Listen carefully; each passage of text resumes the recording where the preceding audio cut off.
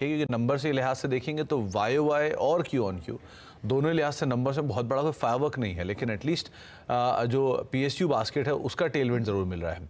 Revenues flat side पे इस quarter में रहने का अनुमान है। फ्लैट टू नेगेटिव साइड पे आप मान के चलेंगे रेवेन्यू थोड़े से आते दिखाई पड़ेंगे।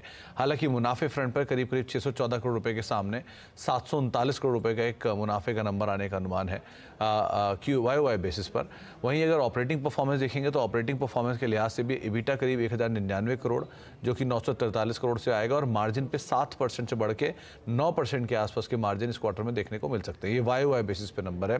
इन्हीं नंबर्स को अगर आप क्यू ऑन क्यू बेसिस पे देखेंगे थोड़ा सा प्रेशर इस तिमाही पर आता दिखाई पड़ सकता है, क्योंकि इनके जो क्यू ऑन क्यू मार्जिन है, वहाँ पर एक बड़ा हिट होगा। तीन परसेंट, साढ़े तीन परसेंट के आसपास के एक हिट मार्जिन पर आता हुआ दिखाई पड़ सकता है। तो वो एक पार्ट क्रूशल रहेगा, जिसके ऊपर आपको नज़र रखनी होगी। वॉल्यूम का नंबर इज़ इंपॉर्टेंट कि वॉल्यूम के नंबर्स में कैसे कंपनी अपने नंबर देती है। करीब करीब अट्ठाईस परसेंट के आसपास की बढ़त की बातचीत इस क्वार्टर में वाई वाई बेसिस पे बाज़ार अनुमान लगाकर चल रहा है। तो आ, ये कुछ नंबर्स की का एक अनुमान है खासतौर से पेट्रोनेट एल और दूसरी तरफ़ जुबलेंट फ़ूड केस में।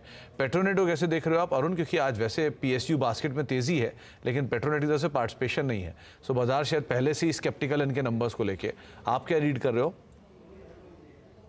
ठीक है अगेन आपने सही स्टॉक कोई बड़ा रिटर्न पिछले कुछ दिनों में नहीं दिया और एग्जैक्टली तीन सौ तीन सौ बीस के आस, बीस में कंसोलिडेशन दिखा रहा है। पर मुझे लग रहा है स्टॉक को अगर बाई करना है तो तीन सौ बीस के ऊपर ही करना चाहिए। ऑलमोस्ट तीन हफ़्ते के हाई 320 के आसपास ही है। तो जिनको भी स्टॉक में मोमेंटम ट्रेड करना है तो 320 के ऊपर ही बाय करें।